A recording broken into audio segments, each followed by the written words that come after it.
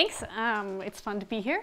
Um, so I think in geometric group theory we enjoy, we like to talk about groups that act nicely on nice spaces, where the nice spaces are usually kind of combinatorial objects, you know, cube complexes, curve complexes, graphs, uh, things that kind of have a combinatorial flavor. I'm going to talk about groups that act on the circle, and this is not a kind of discrete object at all, except secretly it is. Um, and although I won't kind of highlight why secretly it is in my talk, um, because that involves cocycles and things like this. Um, I do want to highlight some parallels between groups of homeomorphisms of the circle and sort of some of the other groups that we've seen so far and approaches to, to, to talking about both. Um, so my plan is, here's the plan. Uh, in the first half, so that's this hour, I'm going to talk about some basics. Let's call them fundamentals.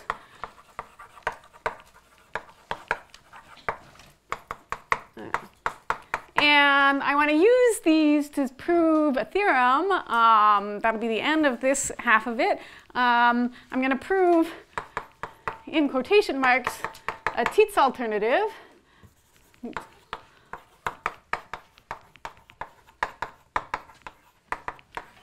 for groups that act on the circle, or for the whole group of homeomorphisms of the circle. Okay. This, this says orientation preserving. I like oriented things, so uh, this is the group of orientation preserving homeomorphisms, no, no flips. Um, and uh, I'll say in a second what that is. And then in the next hour, I'm going to prove a theorem about a particular action of a particular group. Um,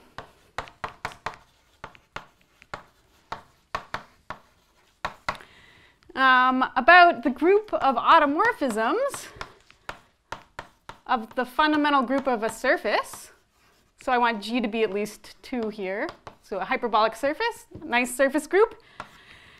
You can look at the group of all automorphisms of that group. Great, this is an object we're all good with. Oh, look, and, the, and this is even a hyperbolic group, so there's some geometry going on there. Um, so this group, being a hyperbolic group, has a boundary. Um, and the group of automorphisms acts on this boundary. Hopefully that's something you can dig out of your mind from last week. Uh, and what is this boundary? A it's a circle. Topologically, it doesn't have any further structure than just being a topological circle. So this action is by homeomorphisms. Okay? And so I'm going to prove a rigidity theorem about this action. It turns out uh, for this particular group, any action of that group on the circle is looks like this one exactly. Okay. Uh, so that's going to be an exciting theorem and a way to teach you sort of some, some, some tools for talking about these objects. Uh, and hopefully relate it to things that we've thought about uh, last week. Um, the Tits alternative, so you, many of you or some of you might know uh, what this theorem is for linear groups right? It says that Tits's theorem is that if you take a finitely generated subgroup of GLN, some linear group, then there's a dichotomy. Either that group contains a non-abelian free group, or um, virtually up to finite index, it's solvable. Okay, so it sort of looks free or looks abelian. Uh, this is, and, and so in generally we say that, you know, a group G satisfies a Tits alternative if something like this is true. Finally generated subgroups are either looking like solvable or contain free groups. This isn't quite true for groups acting on the circle generally, uh, but something very close is in, due to Margulis. Uh, so he showed that any, not even finitely generated, but any subgroup of homeomorphisms of the circle um, either contains a non-abelian free group, either contains an F2, um, or the analog of being solvable or looking kind of like your abelian, or in this case, amenable, uh, the best analog you can have here um, is that there is a measure on the circle invariant under your group. Okay, so, or there is uh, gamma invariant probability measure on the circle. Okay. And this isn't a dichotomy. It's, it's possible that you could have both happening at the same time. But I'll explain sort of what all these words mean uh, when we get there. Okay. Uh, but let's start right at the beginning. How about some examples? Uh,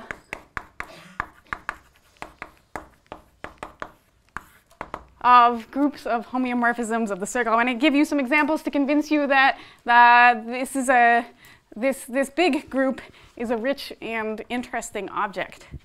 Okay, um, so we saw one already. Uh, odd pi 1 sigma g. Wow, that's, that's a pretty complicated group. Uh, let's maybe try and go um, for, for, for other things. Uh, how about like just the group of rotations? So I can uh, think of the circle as like, I don't know, you know, uh, uh, unit vectors in the plane I can rotate. Um, another thing we've already seen so far, let's see, what have we seen? Uh, last week we saw PSL2R acts on RP1 by Mobius transformations.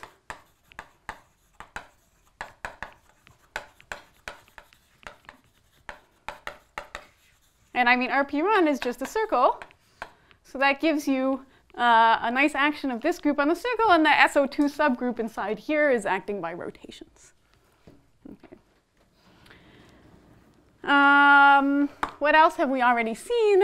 Uh, oh, this morning we saw Thompson's group. Uh,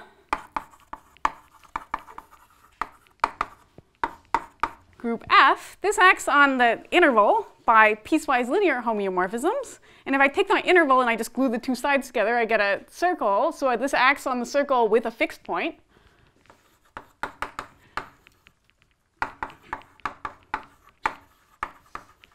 Hence.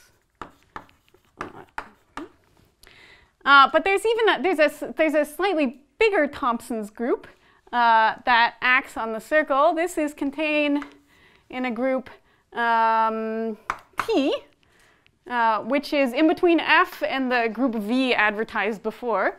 Okay. Uh, T is what happens. It's a group subgroup generated by F acting on uh, S1, which you think of as this, this interval with the two endpoints identified. Okay, by piecewise linear, that gives you a nice linear structure.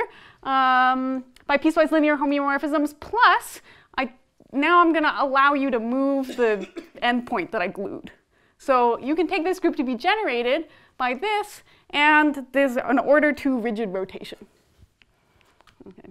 So a uh, silly way to write this, if you like more, more, this kind of notation, is the transformation x goes to x plus uh, a half mod 1. Okay, where I think of the circle is uh, this interval mod mod 1. Or R mod z if you like. Um, and this group is uh, interesting and special because we saw that this group was not simple, although its commutator subgroup is. This group is another example of a simple group. Okay. Um, good, so I've got some particular examples. Let's do a nice uh, uh, very hands-on example, or a couple. Um, uh, free groups sit inside of here okay. in lots of different ways. In fact, you can prove if you decide you want to challenge that the generic two, in the sense of Baire even, generic two homeomorphisms of the circle generate a free group. But I want a particular example that we should hold in our minds for later. You can do this even in PSL2R, but I'm going to forget that I know anything about PSL2R. Um, I'm going to produce a free group generated by two homeomorphisms, say F and G. Okay, okay so uh, what do I want these to do? Here's my circle. I'll give some instructions to F. So I want F to be anything that takes, let's take a little interval here. And stretches it out. So I want f to, to take this interval and stretch it out to being something like this. Okay, so f of i is going to be really long like this. And so what's left over, I want it to take the complement and shrink it. Okay, so this interval here, I can call f of circle minus i. And g, I'm going to have to do the same thing to two other intervals. I know maybe I'll call this j. And I'll do the same kind of stretch and shrink. Just take so your like elastic circle and like pull it this way and smoosh it that way. Uh, so that this interval over here is g of the complement of j. Okay. I claim that these two things generate a free group.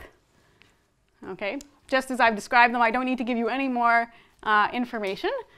And there's only one way that we really know how to prove, okay, there's only one widely applicable way that we know how to prove that things generate a free group, and this is the ping pong argument, right? So actually what I claim is that if I take a point, I don't know, say this point x, that is not in any of these colored in regions that I drew, uh, I have a, definitely I have a map that takes a point, that takes a word in my free group, okay, and sends this to, uh, so it's some abstract word in f and g and f of inverse and g inverse. I just take that word and I apply it to my point x. That's, this is now a homeomorphism. It sends x somewhere else. Okay, I claim that this map is injective.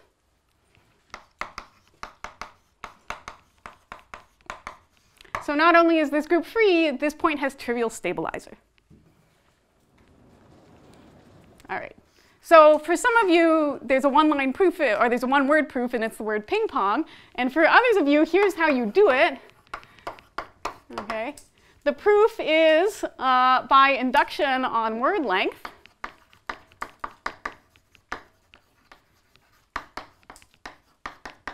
Okay, and I'll do the, okay, the base case, word length zero, that's trivial word, okay, I don't know. Let's do the case of word length one. I want to show that f and g and f inverse and g inverse all send x to different points.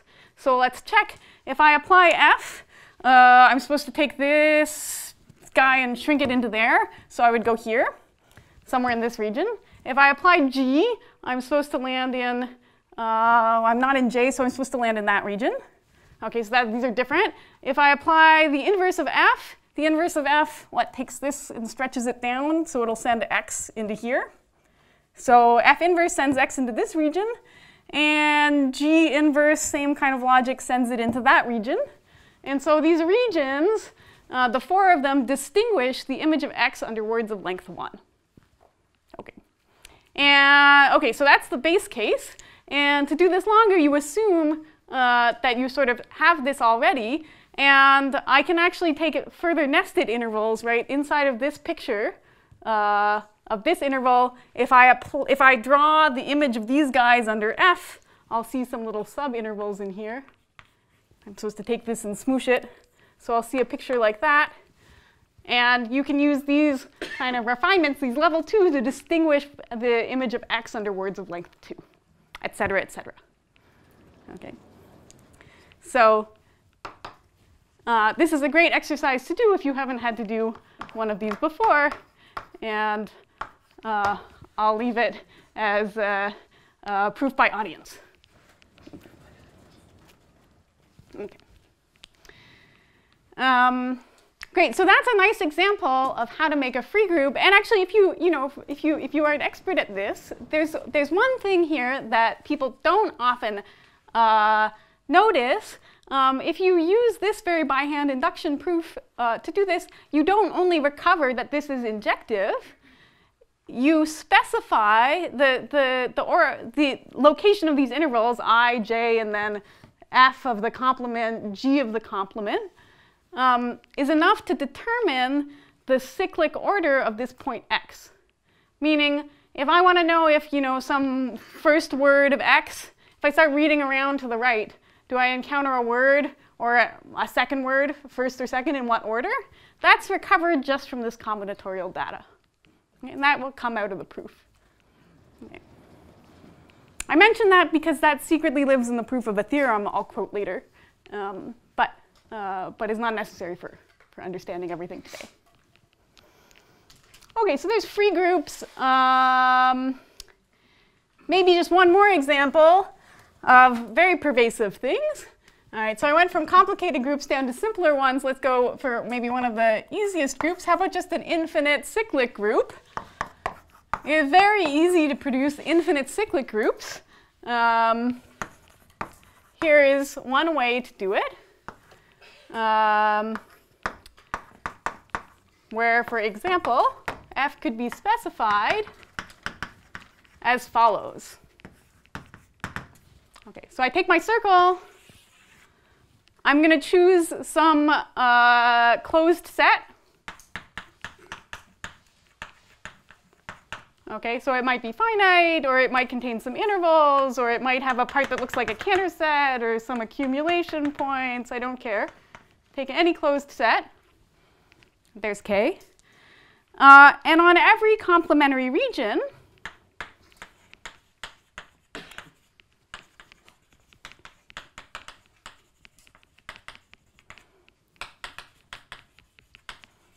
Okay, so every interval in the complement, like here's an interval in the complement, okay, I can identify this interval with, you know, the real line. It's topologically the same. And under whatever identification I, I looked, I, I chose, um, I can have uh, f in these coordinates. I can make it look like uh, x goes to x plus 1, just a translation. Okay. So this closed set is going to specify the set of points fixed by f. Okay. And the complementary intervals are going to be the non-fixed points. And for each of them, I have a choice of whether I thought infinity was this way or infinity was that way in the real line, which way I thought was positive or negative. And that'll determine whether f is shifting points to the right or to the left. So I could choose, you know, a function positive or negative to choose right or left. Maybe positive there on this complementary interval. Maybe I wanted it to go the other way, minus. Okay. So this data is really an assignment, or a little more specific uh, than an assignment of complementary intervals uh, to pluses or minuses, telling me the orientation of the line, which way points are moving, clockwise or anti-clockwise. So what's a fancy way to write that? I don't know. Pi naught of the circle minus k. All right, point regions in the complement to uh, the set containing plus or minus. Okay. So that gives you lots and lots of choices of ways to produce homeomorphisms. All of these will be infinite order, so they'll generate a Z subgroup. And the fact is that this data, the closed set and the plus or minus assignment is a conjugacy invariant. Okay. So the pair K and this assignment, okay, up to conjugacy. So obviously I could rotate my set K and like rotate all the places I put pluses and minuses and I'd have the same kind of looking thing. I'd have a conjugate homeomorphism. Okay. Is a complete conjugacy invariant. So it distinguishes homeomorphisms up to conjugacy in homeomorphisms of the circle uh, if K is not empty. Okay, so, so provided you know you have some fixed points, you can always write it down using this recipe, and the recipe, uh, the topological data of this is enough to specify uh, up to conjugacy. This is why I like uh, homeomorphisms rather than diffeomorphisms. You can kind of draw a picture of them. So can you draw yeah. any homeomorphism like that? No, like here's a here's a bad example. What if I take uh, rotations? Okay, so here's a remark. Not generally. Okay, for example, uh, how am I supposed to draw a picture distinguishing a rotation uh, by, you know, angle pi and one of angle, I don't know, pi over 3 or something like this? Both of them are just like saying move all your points around some amount. Okay? So I don't know what to do.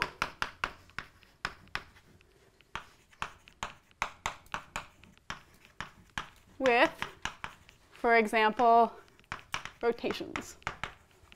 Non-trivial rotations, I guess. I'm, I'm sorry? Yes. Does it mean that every homomorphism of R is conjugate to the translation? Yes, every with no fixed points. Every fixed point free homeomorphism of R is conjugate to translation. I mean, that is the proof of this fact, basically, is conjugate to translation by an orientation preserving or reversing homeomorphism. And that you can actually do by hand. You don't need a hard, a sophisticated theorem to build conjugacy. So that's a nice, didn't put it on the sheet, but that's a nice exercise to do. Okay, okay. so actually, let's um, solve this problem here and try and write down something that looks like, I don't know, a conjugacy invariant that will pick out different rotations. Okay. My goal being to like come up with like a number or a something, you know, easy to write down uh, that will solve my problem. And uh, I don't have to invent this. This is secretly hidden in work that goes all the way back to Poincaré. Uh, this is Poincaré's rotation number.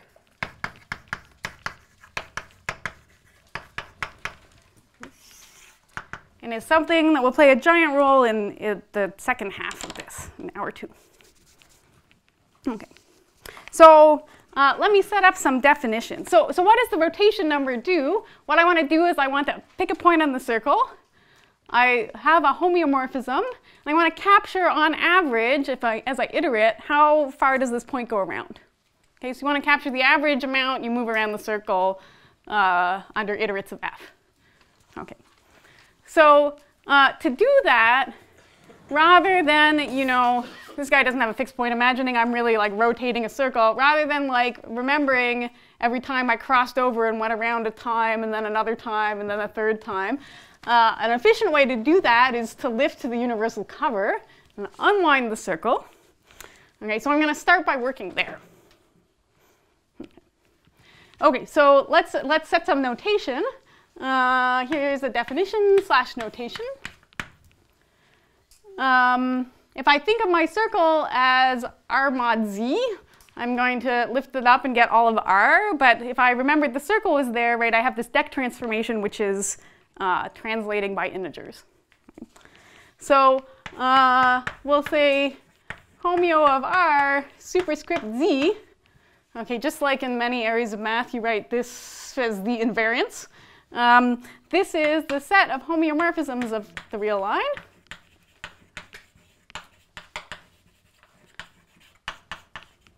which commuting, which commute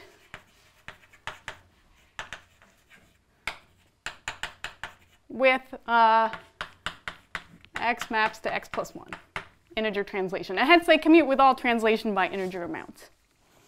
Okay. If I have something that commutes with this, well then it defines a map on the quotient of R by this map. All right? So uh, there's a surjection from here to the homeomorphisms of R mod Z. I want everything to preserve orientation. I, I, think you do automatically if you commute with this, but uh, this will make it clear. Um, which is just homeomorphisms of the circle. So this surjects. Mm -hmm. And the kernel of this map is just this translation. So this actually lies in some short exact sequence like this okay, where this one is generated by x goes to x plus 1.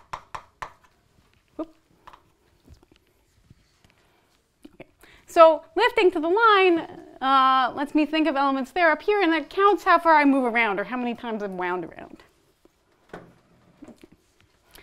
Okay, I'm going to define the rotation number upstairs first.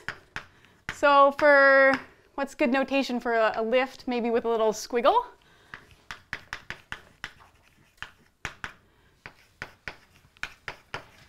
Okay. For one of these homeomorphisms of the line, Uh, we'll define the lifted rotation number of f to be, uh, what do I want? I want the average amount it translates a point. Okay, so I'll take a point, uh, let's choose 0. That's a good point in the line. I'll take f, I'll iterate it n times, and to get an average, I'll divide by n. And I want the limit, I didn't leave myself as much space as I hoped for. I want the limit as n goes to infinity of this quantity.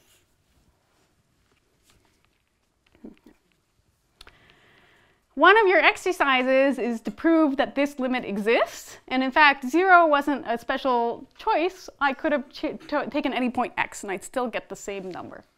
Okay.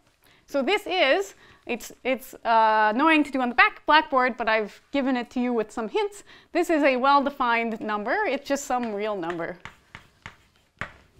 Okay. That is the rotation number of f. And if I looked downstairs, everything makes sense mod z now. Mm -hmm. So for a homeomorphism of the circle,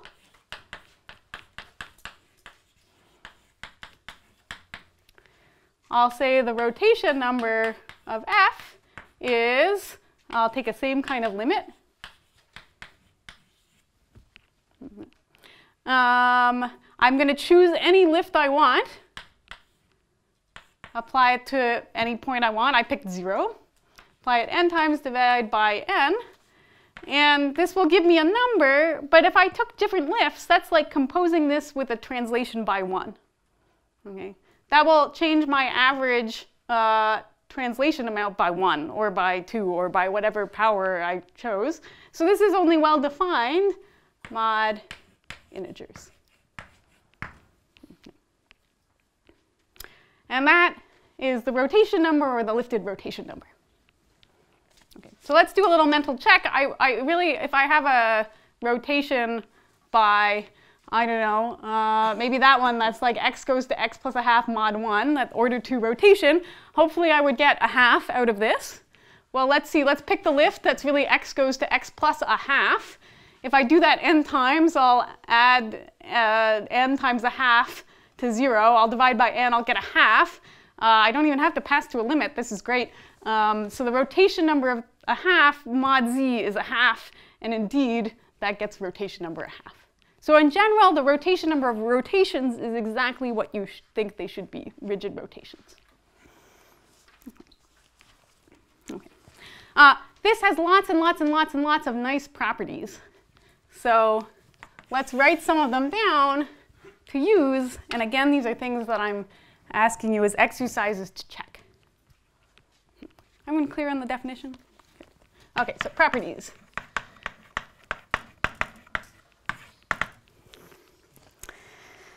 Okay, uh, so I already said that rotations, uh, or their lifts, translations, if I take any real number, this is alpha, that's pretty immediate from the definition. Um, it has a homogeneity property.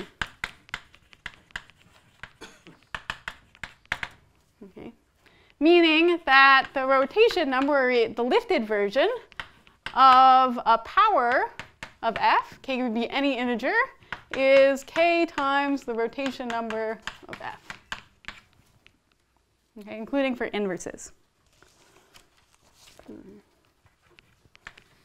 Uh, better than this, so this is a particular abelian subgroup, right? It's a subgroup generated by F, and I'm saying it looks like a homomorphism, an additive homomorphism to R on this abelian subgroup, right? Uh, this is true in general for things that commute. That's all you need to prove this. So it's a homomorphism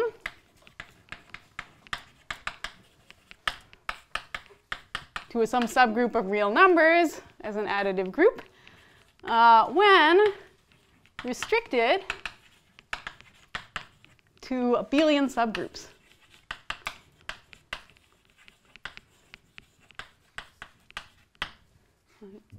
But not in general.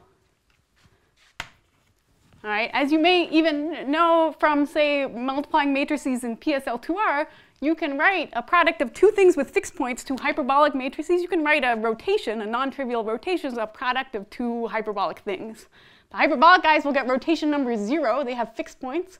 Your rotation is whatever you wanted it to be. Okay, so not, not in general. Uh, but it is generally a conjugacy invariant.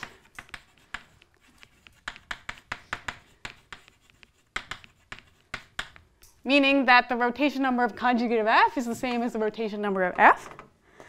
Um, and although it's not a homomorphism in general, it's up to bounded error, which is all we care about in geometric group theory, right? Uh, a homomorphism. Namely, it's a what's called a quasimorphism.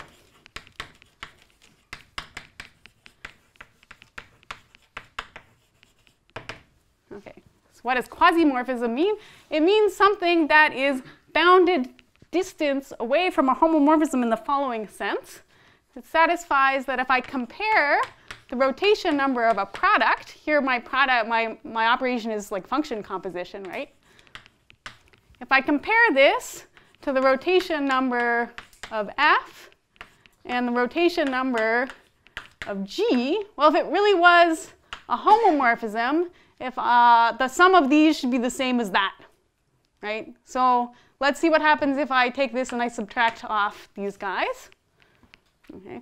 Well, the claim is that this is uniformly bounded. And in fact, in this case, uh, you can show that it's bounded by 1 in absolute value. Excuse me. Yes. Uh, are there any non-trivial abelian subgroups of the group of homeomorphisms? Uh, SO2. Okay, but like z, z to the n, all kinds of things that, that don't, e e within things with fixed points, right, you could think of like just some little interval of the circle, you could identify with the real line and make a group of translations. Okay, but if there are no fixed points? If there are no fixed points, then uh, there are weirder examples than things in SO2. Okay. Yeah.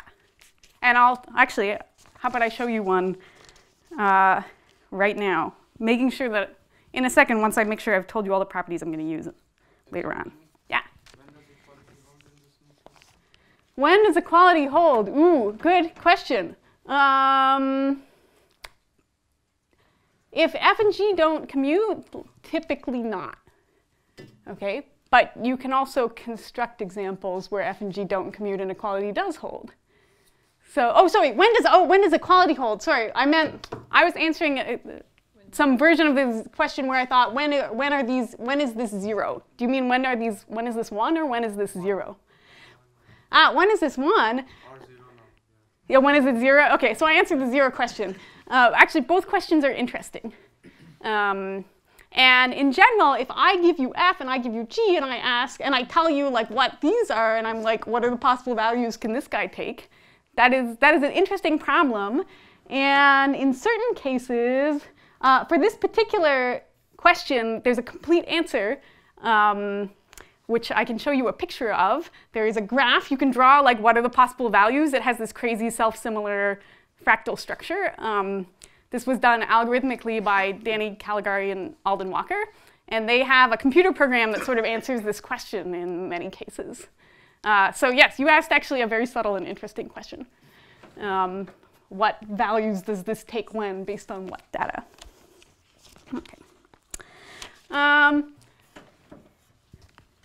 let me take a slight detour for a minute, which might uh, help us over there. I want to talk about an example we saw later uh, uh, last week. Um, Yair Minsky had a, had a picture where he was trying to describe how you make a lamination that's not a foliation on the torus or on the punctured torus. And I'm going to be uh, just very slightly less sketchy than he was.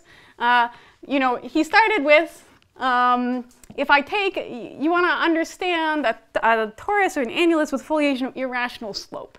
So one way to make an irrational slope foliation on a torus is I'm going to take, here's my circle, so I'm gluing these two sides together, cross interval, all right, and I'm going to mod out by an equivalence relation where I'm going to glue top and bottom of the interval by uh, an irrational rotation or translation. I do that, well, that'll take this like vertical stripes under my gluing. What am I supposed to do? I'm supposed to shift them all over before I think of them being attached back down, right? So that's like, I've really identified my, taken like a slope like this and I've used this to identify my stripes. Okay, and if I sort of shear this back over to say, hey, just glue them up and down normally, uh, you'll get an irrational slope foliation of your torus.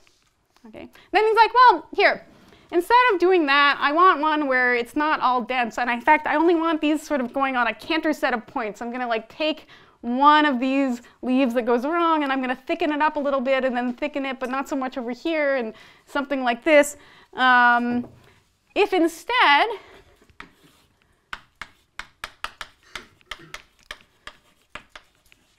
you glue by not a rigid rotation or translation, but by some homeomorphism F that say has rotation number alpha, but not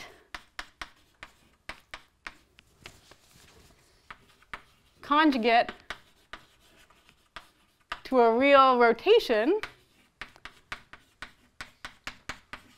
Okay, the result is that you'll produce something that has a Cantor set somewhere here, identified with itself by kind of a shifting over. And this picture will, will look exactly like the picture we saw before, okay, where there's stretched out and thinned out lines uh, following some Cantor set. Okay, so if you did the, if you got interested in his lecture and looked up Denjoy counterexample, uh, um, as was suggested then, uh, the Denjoy counterexample is exactly constructing a function uh, that satisfies this property that lets you build one of these uh, strange foliations.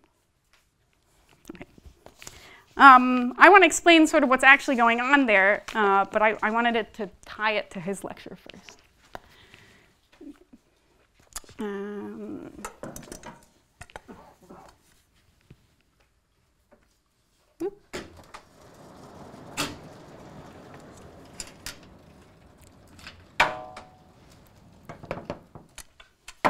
Okay, so consider that maybe motivation for what's about to what's about to come now. Mm-hmm.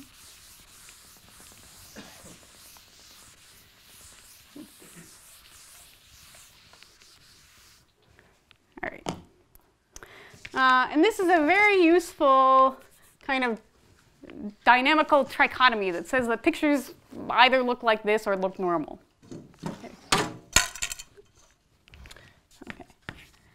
So here is the theorem.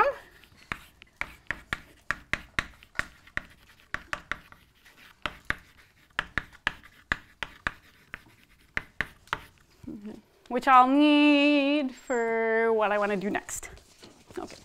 And it says the following. If you take any group acting on the circle, so any group of homeomorphisms of the circle, then either this is an exclusive either or. Okay, one of three things can happen. Okay, one, uh, it could have like a fixed point or more generally a finite orbit. Okay, there is a finite orbit. That's one possibility. All right. Another possibility is I don't you have like a very rich large group like PSL2R or something like this, um, or like a surface co-compact surface group in there. Uh, another thing that could happen is that all orbits are dense. This also happens if your group is just like a single infinite order rotation. And the claim is, is that if neither of these two things happens,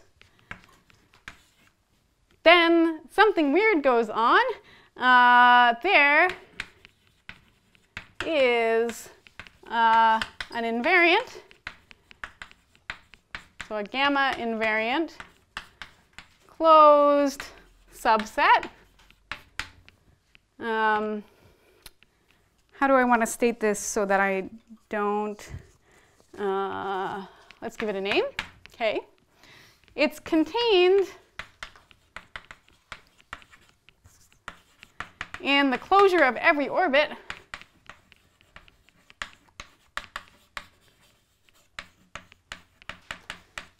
Okay. And so that the restriction to K has all orbits dense. Um,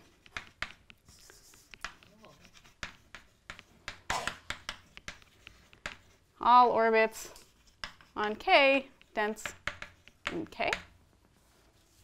So that doesn't tell you very much uh, what K looks like, but I can say a lot more. K in case 3 is homeomorphic to a Cantor set.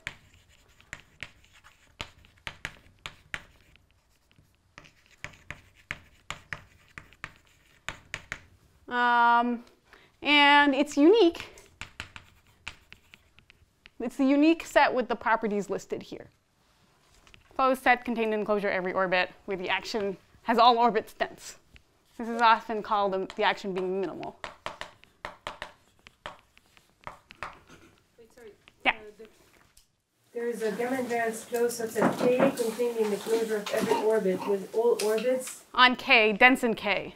So, uh, well, let's say this in English words. With, uh, where the action on K is minimal.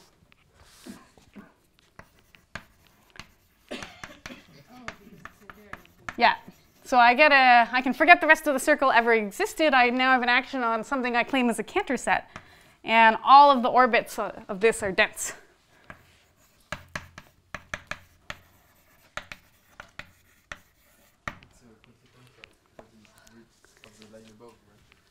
Um, no, I could make it bigger and not have something like this happen.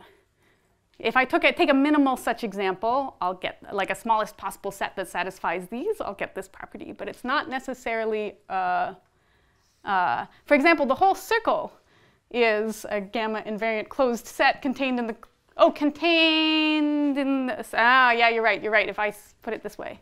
Uh, contained in closure every orbit. Yes, that's true, this is a const, I didn't realize what I had wrote. You are correct. Okay. Uh, let me give you a quick proof of this because it's good to prove some things. Um, okay. Um, I, I, mean, one, one way to approach this is you say, well, suppose neither of these holds, and like, let's find k. Uh, but very generally, we could start right from the beginning by being like, okay, what am I aiming for? Uh, let's look at, I'm trying to understand closures of orbits. Okay, so let's look at uh, the set of subsets of the circle consisting of orbit closures.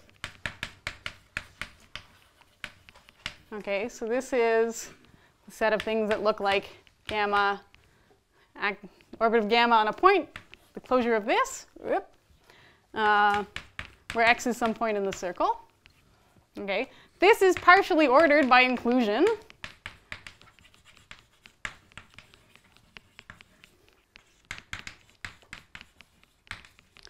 Okay, so I can take a minimal element. All right, so you show that it has the finite intersection property or whatever you want. Um, take a minimal element. Okay, under this ordering. Uh, if that's finite, you just showed that some orbit is finite. Great. Okay. So your, if your minimal element is a finite set, you get case one. If your minimal element is the whole circle, what does that mean? That means that the closure of every orbit is the whole circle, so we're in case two. Okay, and if it's not, well, um, what is a minimal element of this? Uh, In general, it will be some gamma invariant set because uh, orbit closures are gamma invariant.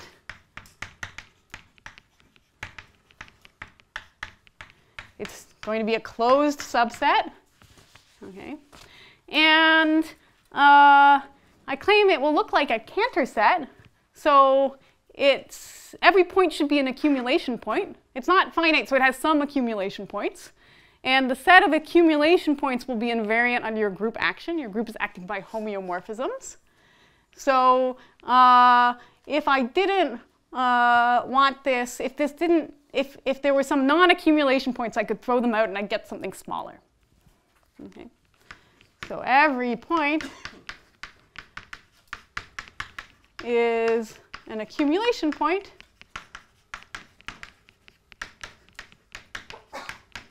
That's perfect. Uh, and the same kind of argument says it has an empty interior, otherwise I'd throw out the interior and I'd get some smaller closed invariant under my group uh, set. Uh, so uh, the closure of an orbit in that point would be contained in it, would be smaller. So must have empty interior. Okay, so these last two just come from the fact that I took a minimal element. Okay, so that says, oh, I already proved sort of my addenda that this is homeomorphic to a Cantor set. And the contained in the closure of every orbit is just because I could uh, take an intersection, right, if I had something that was, that was smaller.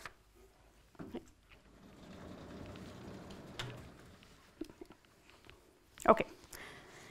So that was a little quick and sketchy at the end, but I promise there's nothing too complicated going on. You just check that this has the properties that you want. So is the existence of a minimal element guaranteed by compactness? Okay. Yeah, you just check that descending things, yeah. Yep. Okay. Okay. Nope. You, and you can do one of Yair's examples if you believe that this really works to make fat Cantor sets on which you do a shift kind of thing. All right, so things are pretty pathological if you don't, if you just have actions by homeomorphisms. Okay. Let me, in the remaining 16 minutes or so, uh, tell you about what I really wanted to kind of get to, uh, this proof of the, of the, of the Tits alternative.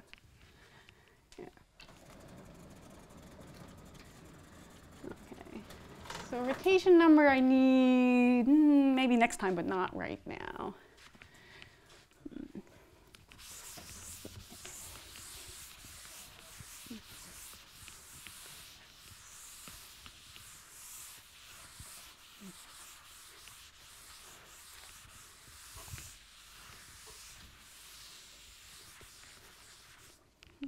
So I know I'm going kind of quickly. Uh, my aim is to give you a flavor for sort of how some of these kind of arguments go so that you can play with them and imitate them and sort of have a toolkit to, to play with some problems uh, in the problem session. Okay, so let's prove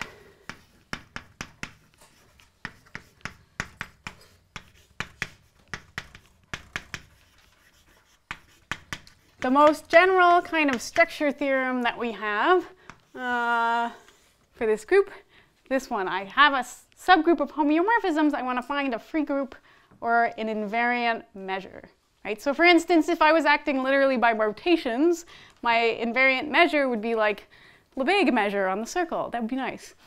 Um, more generally, Maybe I could, uh, I won't write the Lebesgue measure one down, but if I'm in uh, case one of there, if I have a finite orbit,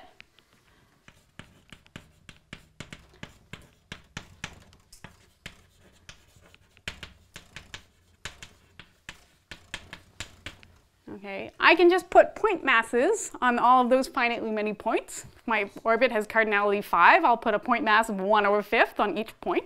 Those points will get cyclically permuted around. That will be an invariant measure under my group action. Okay, so you, you know, so I don't need it to act by literal rotations. All I need to know is that this point, these three uh, these five points are always, they'll all stay in their order, right? All elements of my group permute these. Uh, I can put point masses there to produce an invariant measure. Okay, in particular, if I have a single fixed point, then uh, this Tits alternative is very easily satisfied. It could have a billion fixed points or uncountably many. I don't care. Just put a point mass at the single fixed point. It never moves. That's an invariant measure. So we're really interested in what happens in two or three. Okay. Okay. Okay, so when this kind of thing doesn't happen, I'm expecting it to look like rotations with Lebesgue measure, some version of that, or to what a, if I want to prove there's a free group, I better imitate my ping pong picture, uh, oh, which got erased, but uh, from before. Okay, so I'm looking for one or the other. Okay. Well, one thing that would put me in the invariant probability measure would be uh, if I had a group that acted by homeomorphisms where those were equicontinuous, right? If the action is by some, it's some family of homeomorphisms, these are all equicontinuous. Uh, I'll remind you what that means in a second if you forgot your analysis. Uh, then the Arzela Ascoli theorem means that your group is compact.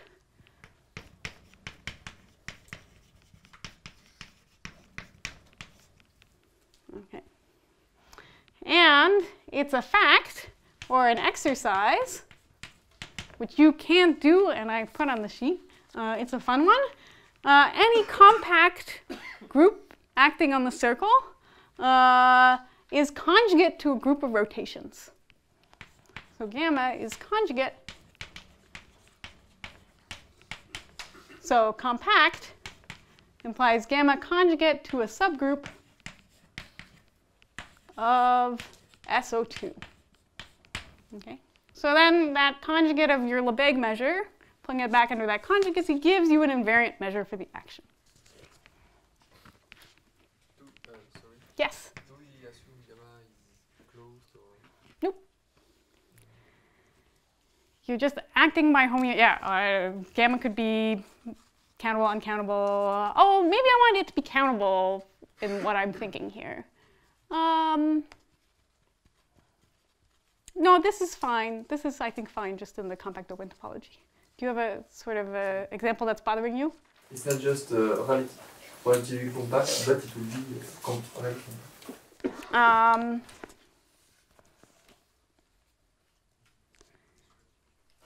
you mean that the oh the closure of it should be compact? I see. Um, right. Well, wait. So so the if the closure of gamma is compact, then its closure is conjugate into SO2, and so gamma itself is a subgroup of SO2 being a subset of its closure. So that's good enough Right. then gamma, yeah, so that's fine. Then the closure of gamma is uh, relatively compact is fine. So its closure is some subgroup conjugate into SO2. I think that's, that'll do it. Thanks. Okay.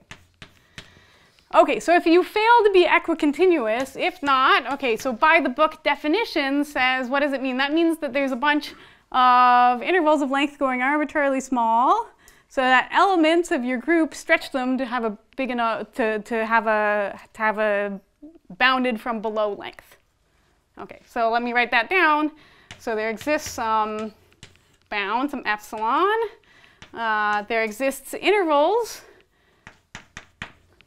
where the length of in goes to zero, and there exists some sequence of elements of your group where the length of gn of in is at least epsilon. All right, so this is the case that we're worried about, and we want to hopefully produce some ping pong out of this, and it's looking pretty good because I have like tiny little intervals get, get stretched. And that's what I was using in this ping pong picture, stretching and shrinking lengths of intervals.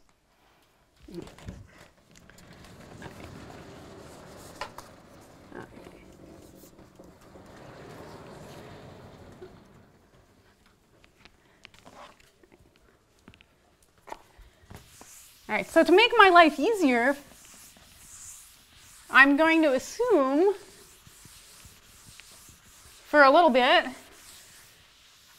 that I don't have one of these crazy Cantor sets that seem like a pathological thing. I'm going to assume uh, that my action is minimal. All orbits are dense. Okay. Okay. And then we'll deal with what happens if not else, elsewise. So let's assume for a moment. A little bit of time. That gamma acts minimally. And what I want is to run my ping pong argument. Let's draw this picture of what I want. I want to find something like this and some f that takes this interval to like this big one, and then some g that has something like this, and it takes uh, this thing and smooshes it down, or it takes this one and stretches it over, like I had that before. And then I'll have a free group and I'll feel happy. Uh, but the problem is that this picture, the way I drew it, doesn't always happen. All right, I might have to draw a more complicated picture. All right, so here's a problem. This picture doesn't happen the way I drew it, even in like, I don't know, like SL2R acting by, uh, acting on like rays to the origin, or like the, the twofold cover of PSL2R if you like. Right? If I wanted to try and do this picture in SL2R, well, the thing about SL2R is, is everything looks the same on both sides of the circle, right? Everything commutes with an order two rotation. It's like an action on lines, not the projectivized version. So I can't have something that takes this giant interval and swishes it down. Whatever I do up here, a squish, is also done down here. I'd have to have another squish. So if I wanted to do this in SL2R, uh,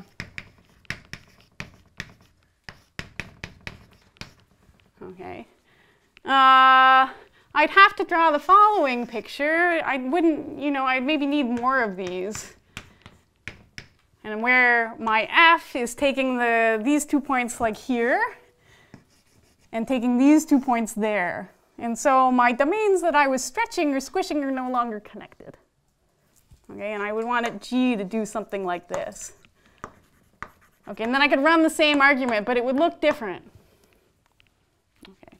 But this is just silly. You know, what did I draw? I drew the like twofold cover of this picture. Okay, everything commutes with the rotation of order 2 in SL2R. Here's the projectivized version. It's the picture I had before.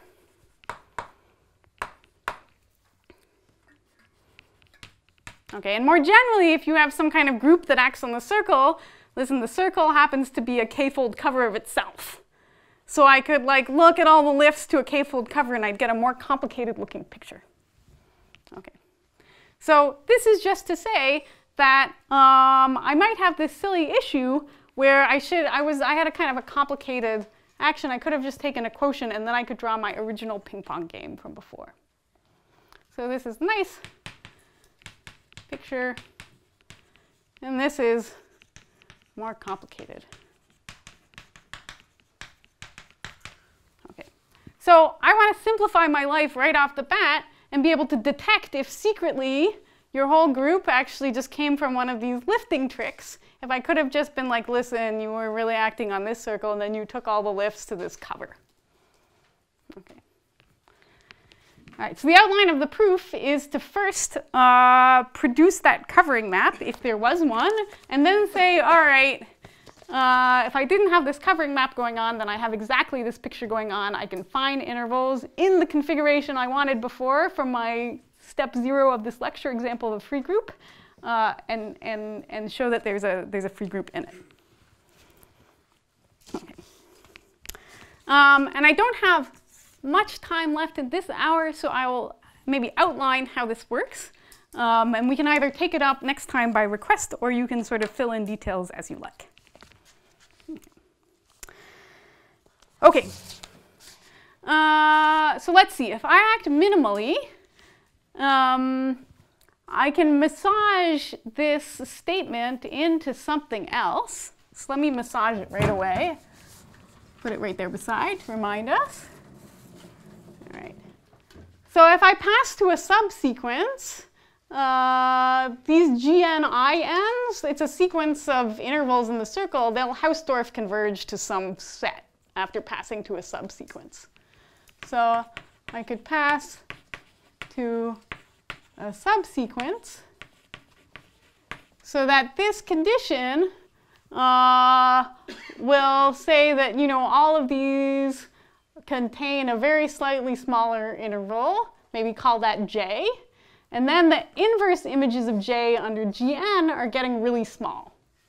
Okay, so this says that uh, there is some interval J of length uh, more than epsilon over 2, I can certainly guarantee, with the length of, after passing to my subsequence, gn of j, gn inverse of j, I guess, going to 0.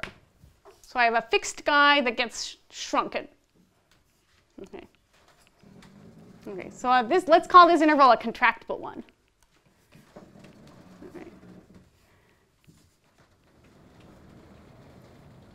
If my action is minimal, I can move any point to any point. Okay. So minimal implies that I could put j wherever I want it. That says that for any point in the circle, there exists some point y. Okay. So that the oriented interval between x and y is contractible in the same sense that J was. There exists a sequence of elements that shrink it to arbitrarily small length. Okay. Such that there exists some sequence Hn will depend on x with a length of Hn of this guy, xy, going to 0. I will pick out if I was secretly covered by a cover by the following function. Mm-hmm. All right. So I'm going to define a function on my circle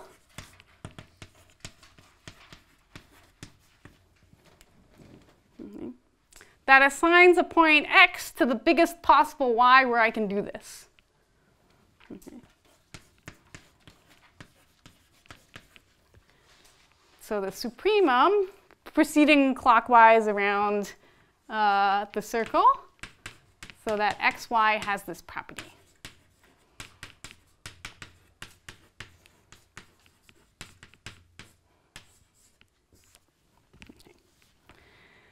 For example, if you're in PSL2R acting by Mobius transformations, this function happens to be the identity.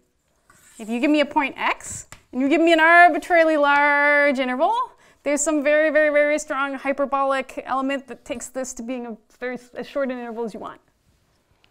Okay. All right. And the claim is that, in general, this might not be the identity. Uh, I'll state it as a fact that you can check. This guy is a finite order rotation, or a finite order homeomorphism.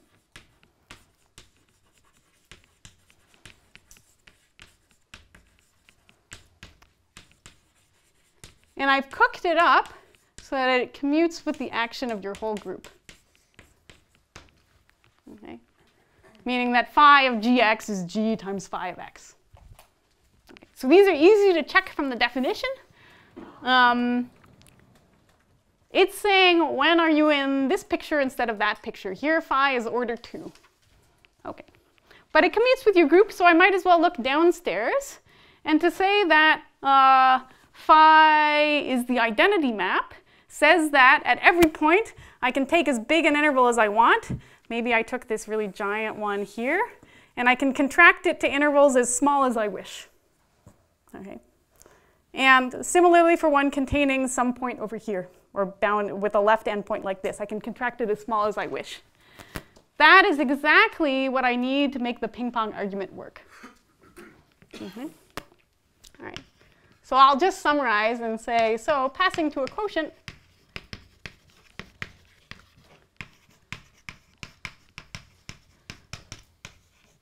phi is the identity, okay, in which case you can play the ping pong argument. Okay. Um, that's a good place to stop. Perhaps that's too much. Oh, I should say, if you weren't acting minimally, then we have this Cantor set picture, and I can just pretend my Cantor set was the original circle. Right? You imagine, you know, the like Cantor staircase function that takes uh, um, uh, your interval with a Cantor set in it and collapses each complementary region to a point. This is some continuous function that makes your Cantor set disappear, right? Um, my Cantor set is invariant, so I could apply the collapsing function, and I'll get a new circle on which my group acts by homeomorphisms. I can run this case, all right? Or I, either I was equicontinuous on this new circle, and so I can pull back an invariant measure to my old one, or on this new circle, I could play ping pong, and uh, that must mean I contain a free group. Okay. So, in very short, uh, the fact that I'm assuming that gamma acts mi minimally is no big deal. Because my other option is this Cantor set. And I think that's a, that's a good place to end the, the, this first bit.